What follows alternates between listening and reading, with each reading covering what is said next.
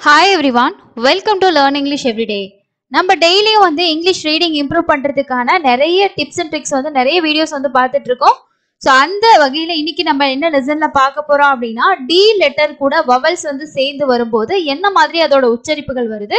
So அந்த எழுத்து கூட சேரும்போது மொத்தமாக எத்தனை உச்சரிப்புகள் இருக்குது அப்படின்றத பற்றி தான் இன்னைக்கு நம்ம வீடியோவில் லேர்ன் பண்ண போகிறோம் ஸோ கண்டிப்பாக வந்து பார்த்தீங்கன்னா இப்போ டியை பொறுத்த வரைக்கும் நம்ம இட்டு இட்டுல இட்டு அப்படின்ற உச்சரிப்பு வந்து யூஸ் பண்ணுவோம் ஸோ எல்லா இடங்கள்லையுமே பார்த்தீங்கன்னா டிக்கு சேம் ஒரே ஒரு உச்சரிப்பு தான் வரும். இதுவே ஏ எடுத்துக்கிட்டிங்கன்னா அப்படி கிடையாது. நமக்கு ஒன்றுக்கு மேற்பட்ட ஃபொனிக் சவுண்ட் இருக்கு. அதாவது உச்சரிப்புகள் வந்து ஒன்றுக்கு மேற்பட்டது இருக்கு அப்படின்னும் போது ஒரு வார்த்தையில டிஏ ஏ நம்ம சேர்த்து பார்க்கும்போது இதுதான் வரும் அப்படின்றது நம்மளால கன்ஃபார்மா சொல்ல முடியாது. ஏன்னா ஒரு சிலர் பிகினஸா இருப்பீங்க இல்லையா? ஸோ அதனால மொத்தமா எத்தனை தான் இருக்கு அப்படின்றத தெரிஞ்சுக்கிட்டா கண்டிப்பா உங்களால ஈஸியா ரீட் பண்ண முடியும். ஸோ வாங்க இன்னைக்கு லெசனை ஸ்டார்ட் பண்ணலாம். அதுக்கு முன்னாடி நம்ம சேனலுக்கு இது வரைக்கும் நீங்கள் சப்ஸ்கிரைப் பண்ணாமல் பார்த்துட்டு இருந்தீங்கன்னா சப்ஸ்கிரைப் பண்ணி சப்போர்ட் பண்ணுங்க. ஸோ வாங்க லெசனை ஸ்டார்ட் பண்ணலாம். First D plus A D கூட ஏ வவல் கூட என்னென்ன சவுண்ட் வருதுன்னு பார்க்கலாம். மொத்தமாக வந்து பார்த்தீங்கன்னா நாலு சவுண்ட் இருக்கு. ஃபர்ஸ்ட் சவுண்ட் வந்து பார்த்தீங்கன்னா ஏக்கு ஆ ஆ ஏ ஏ. மொத்தமாக நாலு சவுண்ட் இருக்கு. ஸோ டிக்கு வந்து நம்ம இட்டு அப்படின்ற சவுண்டு சொல்லுவோம். ஸோ இட்டு கூட்டல் ஆ வந்து டா. டான்னு சொல்லக்கூடாது டா. அதே மாதிரி டா டே டே. ஸோ எத்தனை சவுண்ட் இருக்குன்னு பார்த்தீங்கன்னா நாலு சவுண்டு ஸோ இதுக்கான நம்ம எக்ஸாம்பிள்ஸ் வந்து பார்க்கலாம். ஸோ எக்ஸாம்பிள் பாருங்க. ஃபர்ஸ்ட் டா எழுத்துக்கு என்ன எக்ஸாம்பிள் கொடுத்துருக்கேன் அப்படின்னா இட்டு ஆ டா டா இஃப் இட் டஃப்ட் ஸோ டீக்கு வந்து இட்டு சவுண்டு இட்டு இட்டு சவுண்ட் சொல்லணும். இங்க டிக்கு வந்து டா அப்படின்ற சவுண்டு நம்ம கொடுக்கணும். அப்போ இதை எப்படி படிப்போம்னா டஃப்ட் டஃப்ட் அப்படின்னு சொல்லி படிப்போம். அடுத்தது பாருங்க அடுத்து என்ன உச்சரிப்புனா இட்டு கூட்டல் ஆ டா டாக்கு டா இன் இஸ் டான்ஸ். ஸோ இதை எப்படி படிப்போம்? டான்ஸ். இட்டு ஆ டா டான்ஸ். அதே மாதிரி இட்டு கூட்டல் ஏ டே. அப்போ இதை எப்படி படிப்போம்? டே இ சி டெய்சி டே இ சி டெய்சி அடுத்து இட்டு கூட்டல் ஏ நெடில் உச்சரிப்பு. அப்போ டே டேட். எப்படி படிப்போம்னா டேட் அப்படின்னு சொல்லி படிப்போம். இது மட்டும் இல்லை நான் நிறைய வார்த்தைகள் இருக்கு. நான் உங்களுக்கு எக்ஸாம்பிளுக்காக ஒரு நாலு மட்டும் கொடுத்துருக்கேன். நீங்க இன்னும் நிறைய வந்து ப்ராக்டிஸ் பண்ணுங்க. அப்போ டி கூட ஏ வந்து சேரும்போது மொத்தம் நமக்கு எத்தனை உச்சரிப்புகள் இருக்கு? நான்கு வகையான உச்சரிப்புகள் இருக்கு. அடுத்ததான் நம்ம பார்க்க போறது டி கூட e ஈவவல் டி கூட e ஈவவல் சேரும்போது மொத்தமா மூன்று உச்சரிப்புகள் இருக்கு. என்னென்ன உச்சரிப்புகள் அப்படின்னா இங்க ஈக்கு e வந்து ஏ அப்படின்ற உச்சரிப்பு ஈ அப்படின்ற நெடில் உச்சரிப்பும் ஈ அப்படின்ற குறில் உச்சரிப்பும் இருக்கு. இட் இட்டு ஏ டே. இட்டு இ டி. இட்டு இ டி. ஸோ இந்த மூன்று உச்சரிப்புகள் தான் வரும். இதுக்கான எக்ஸாம்பிள் நம்ம பார்க்கலாம். இப்போ ஃபர்ஸ்ட் பார்த்தீங்கன்னா இட்டு ஏ இட்டு ஏ வந்து டே டே அப்படின்னு படிப்போம். அப்போ டே வி இல் டெவில். இட்டு ஏ டே விஐக்கு வி இவ்வு இ வி இல் டெவில். அதே மாதிரி இட்டு இ இது எப்படி படிப்போம்? டீர். ஸோ இதை எப்படி படிப்போம்னா டீர் அப்படின்னு படிப்போம். அடுத்தது பார்த்தீங்க அப்படின்னா நமக்கு டி உச்சரிப்பு. இட்டு இ டி உச்சரிப்பு. இது எப்படி படிப்போம்னா டி கே டி கே. இக்கு ஏ டி கே. ஏயும் ஒய்யும் சேர்ந்து வரும்போது நமக்கு ஒரே உச்சரிப்பு கொடுக்கும். ஸோ அது நம்ம ஆல்ரெடி லெசன்ஸில் பார்த்துருக்கோம். அப்போ டி கே டி கே. அப்போ டி கூட இ வந்து சேர்ந்து வர்ற வார்த்தைகள்ல நமக்கு மூன்று விதமான உச்சரிப்புகள் இருக்கும். உங்களுக்கு டவுட்டா இருந்துச்சுன்னா நீங்க ஒவ்வொரு உச்சரிப்பையும் அந்த இடத்துல சொல்லி பார்த்தீங்கன்னாவே உங்களுக்கு கரெக்டான உச்சரிப்பு வந்து வந்துடும் இதை இப்போ நம்ம வந்து டிஇ இப்போ e. இட்டு e, இ டிவில் அப்படின்னு நம்ம படிக்க மாட்டோம்.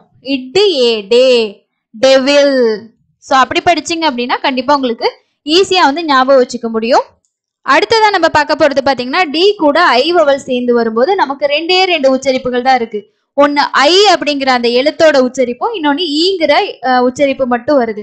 அப்போ இட்டு ஐ டையாகவும் இட்டு இ டி ஆகவும் வருது. ஓகேங்களா? டி டை டை அப்படின்னு சொல்லி படிக்கிறோம். ஸோ இந்த ரெண்டு உச்சரிப்புகள் தான் உங்களுக்கு ஐ வவல் கூட சேர்ந்து வரும்போது வரும். ஸோ அடுத்தது நம்ம வந்து டி கூட ஐ வரும்போது அதுக்கான எக்ஸாம்பிள் வந்து பார்க்கலாம். இதுக்கு ரெண்டு உச்சரிப்பு தான் இருக்கு. ஸோ ஐயோட எழுத்துக்கு பார்த்தீங்கன்னா ஐன்ற உச்சரிப்பே இருக்கு இன்னொன்று ஈன்ற e உச்சரிப்பு. அப்போ இங்க வந்து பார்த்தீங்கன்னா ஃபர்ஸ்ட் டை அப்போ டை நோ சர் டைனோசர் அப்படின்னு சொல்லி இதை படிப்போம். அதே மாதிரி பாருங்க அடுத்தது இட்டு இ e. அப்போ D dinner so D inner dinner so இதை எப்படி படிப்போம்னா டின்னர் அப்படின்னு சொல்லி படிப்போம். அப்போ உங்களுக்கு டி கூட ஒரு வார்த்தையில ஐ வருது அப்படின்னும் போது நீங்க யோசிக்க வேண்டியதா ரெண்டே ரெண்டு உச்சரிப்பு தான் இருக்கு. ஐ அப்படிங்கிற உச்சரிப்பும் இ e அப்படிங்கிற உச்சரிப்பும். ஸோ இது ரெண்டையும் சொல்லி படிச்சிங்கனாலே உங்களால ஈஸியா அந்த வார்த்தையை படிச்சிட முடியும். ஸோ இதே மாதிரி பார்த்தீங்கன்னா இந்த டைனோசர் மட்டும் இல்லாம டைவ் அந்த மாதிரி நிறைய இருக்கு. இதுல டின்னர் டிவிஷன் டிவைட் இந்த மாதிரி நிறைய வார்த்தைகள் வந்து இருக்கு. ஓகேங்களா ஸோ ப்ராக்டிஸ் பண்ணி பாருங்க. ஸோ அடுத்ததான் நம்ம பார்க்க போறது டி கூட ஓவல் ஓவல் வரும்போது என்னென்ன சவுண்ட் வந்து இருக்கு? மொத்தமா பாத்தீங்கன்னா நமக்கு நான்கு விதமான சவுண்ட் வந்து இருக்கு. ஓ ஓ ஆ ஆ ஓகேங்களா? ஸோ குரில் நெடில். ஒரே எழுத்தோட குரில் நெடில் அதான் வந்து சவுண்டு தான் நமக்கு வருது. ஃபர்ஸ்ட் பாத்தீங்கன்னா டோ அப்படின்ற சவுண்டும் அடுத்து டோ அப்படின்ற சவுண்டு அடுத்து டா டா. ஸோ மொத்தமா நாலு சவுண்டு வந்து இருக்கு. ஸோ இதுக்கான எக்ஸாம்பிள் நம்ம வந்து பார்க்கலாம். டி கூட ஓ சவுண்ட் வரும்போது எப்படி வந்து உச்சரிப்புகள் வருது அப்படின்றது. ஃபர்ஸ்ட் வந்து நான் சொன்னேன் உங்களுக்கு டோ அப்படின்ற உச்சரிப்பு. இது எப்படி படிப்போம் அப்படின்னா டால்ஃபின் டோ எல் ஃபி என் டால்ஃபின் அப்படின்னு படிப்போம். அதே மாதிரி அடுத்தது பாருங்க டோ டோல் இட்டு ஓ டோ டோல். இதை எப்படி படிப்பீங்க? டாக். இட்டு ஆ டாக். இதை எப்படி படிப்போம்னா டவ். இட்டு ஆ டா dove. So dolphin doll dog dove. So மொத்தமாக வந்து நமக்கு எத்தனை உச்சரிப்பு இருக்குன்னு பார்த்தீங்கன்னா நான்கு வகையான உச்சரிப்புகள் இருக்கு. டோ டோ நெடில். ஒன்று குரில் ஒன்று நெடில் அதே மாதிரி பார்த்தீங்கன்னா டா டா.